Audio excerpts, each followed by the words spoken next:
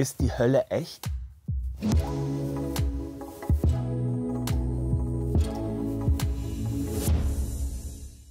Du kommst in die Hölle. Mit diesen Worten erklärte ein kleines Mädchen seiner Lehrerin, dass sie kein Christ sei, weil sie ja schließlich Hosen und Schmuck trage und deshalb in die Hölle komme.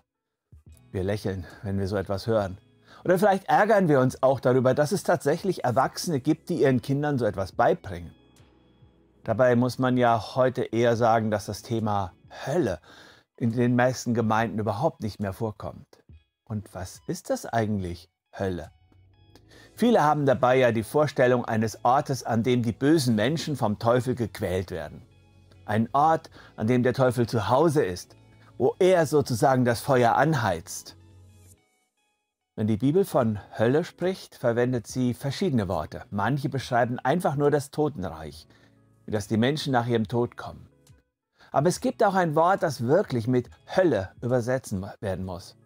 Im Griechischen ist es das Wort Gehenna, was die Bezeichnung für das Tal Hinnom war.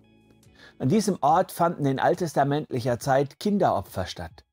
Es war daher ein Sinnbild der Qual und der tiefsten Gottesferne. Jesus spricht relativ häufig von der Hölle. Er nennt sie oft den Ort, an dem Heulen und Zähneklappern herrscht, ein Ort der Feuerqualen oder der ewigen Pein. An keiner dieser Stellen ist es allerdings der Ort, an dem der Teufel sozusagen zu Hause wäre. Im Gegenteil. Nach Offenbarung 20 ist die Hölle der Ort, der für die ewige Bestrafung des Teufels vorgesehen ist. Dabei muss man natürlich klar sagen, dass unsere Worte und unsere Vorstellungskraft nicht ausreichen für die jenseitige Wirklichkeit. Weder wenn es um den Himmel und die neue Erde geht, noch wenn es um die Hölle geht. Wir können uns diese Aspekte aus Gottes Unendlichkeit nur in Bildern und Worten unserer Zeit vorstellen.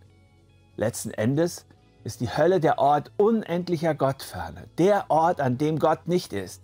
Und wenn Gott das Leben ist, dann ist die Hölle der Tod. So nennt die Offenbarung sie ja auch, den ewigen Tod. Die Hölle ist also nicht so, wie wir sie uns oft vorstellen, aber sie ist real. Wenn die Hölle keine reale Wirklichkeit wäre, hätte Jesus nicht kommen und für uns sterben müssen. Denn er kam ja, um uns genau davor zu bewahren, vor der ewigen Gottesferne. Die Hölle gehört also in unserer Verkündigung.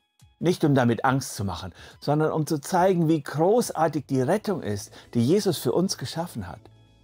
Wir dürfen auf ewig als Kinder Gottes in seiner Nähe leben. Das ist das Evangelium, das gerade vor dem Hintergrund der Realität der Hölle unendlich wichtig und groß wird.